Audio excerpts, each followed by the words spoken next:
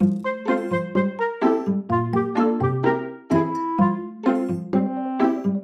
want to play Played PlateUp with the new people. Should I ask some people? Who are the some people though? Krisis? Yeah, I'm- um, maybe like Zali or Vanta. Thinking. Zali? What about Wilson? I'm tired of that man. I don't want Wilson. Okay, but like, yo, we been playing Zomboid forever?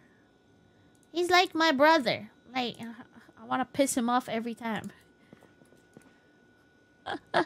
it's true. I never want to piss someone off.